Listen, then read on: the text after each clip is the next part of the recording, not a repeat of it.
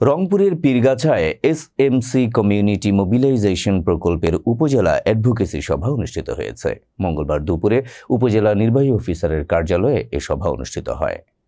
Social marketing কোম্পানির আর্থিক সহযোগিতায় এ সময় উপস্থিত ছিলেন উপজেলা চেয়ারম্যান আবু নাসের শাহ মোহাম্মদ মাহবুবুর রহমান, উপজেলা নির্বাহী অফিসার শেখ শামসুল আরেফিন, উপজেলা মহিলা vice chairman Tanzina Afroz, Pirgacha press ক্লাবের সভাপতি তুজাম্মেল হক মুন্সি, ইউপি চেয়ারম্যান আবুল বাসার উপজেলা সমাজসেবা কর্মকর্তা এনামুল হক, উপজেলা মাধ্যমিক শিক্ষা কর্মকর্তা সৈয়দ সুজা মিয়া, সহকারী উপজেলা স্বাস্থ্য কর্মকর্তা ইয়াকুব আলী, সহকারী উপজেলা শিক্ষা কর্মকর্তা শামসুজ্জামান, ব্র্যাকের যক্ষা বিষয় কর্মকর্তা জাহ্নবী রায়, সচেতন সোসাইটির জেলা ব্যবস্থাপক মাসুম বিল্লা ও উপজেলা ব্যবস্থাপক মিলন কুমার বর্মন, ইমাম নজরুল ইসলাম, চিকিৎসক আব্দুর রহিম, নাগরিক উদ্যোগের area manager Shyamal Mohanta, UP সচিব আঙুর মিয়া, ইউপি সদস্য মশিউর রহমান, শিক্ষক মৌসুমী বেগম ও মিজানুর রহমান এবং সচেতন সোসাইটির কমিউনিটি মোবিলাইজেশন প্রমুখ।